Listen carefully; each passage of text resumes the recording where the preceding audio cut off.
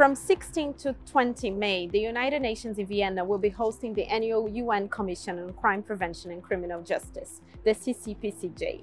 The Global Initiative Against Transnational Organized Crime will be contributing with a wide range of events and engagements throughout the week as part of our broader efforts to contribute to the development of more effective multilateral responses to transnational organized crime.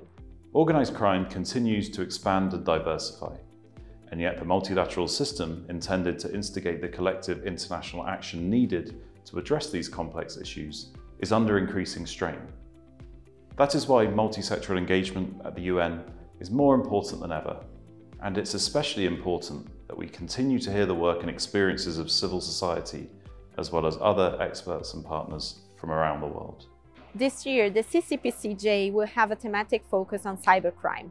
And on Monday, 16 May, we will co-host a side event on the ongoing negotiations towards a UN treaty on countering the use of information and communication technologies for criminal purpose. We will be discussing the importance of the input of civil society and other external contributors, as well as what can be done to get the most out of these multi-sectoral engagements.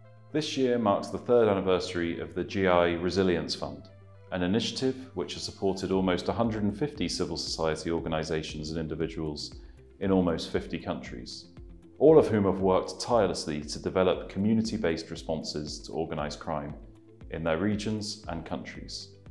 On Wednesday 18th of May, a dedicated side event will hear from a selection of beneficiaries from the fund, who are working on the front line against organised crime. Organized environmental crimes are a collective challenge for the international community, crossing borders and causing severe harm. Following years of debate and discussion led by civil society, a tangible proposal has been made by some member states to strengthen the international legal framework.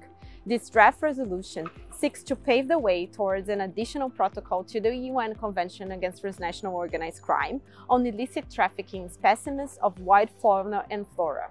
On Thursday, 19 May, we are co-hosting a side event with the government of Peru, which will explore the connection between environmental crimes and other illicit activities, such as illicit, illicit financial flows.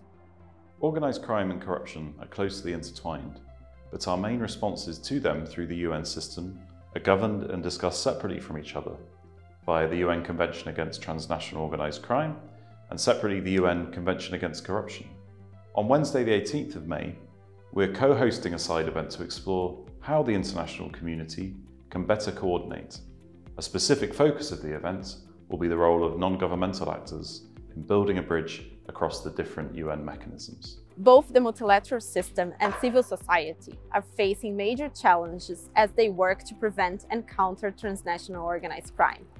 Through multi-sectoral engagement at the UN level, we can work together to address those challenges we at the Global Initiative look forward to contributing to these efforts at this year's CCPCJ. Visit the GI website and social media channels for information about our side events.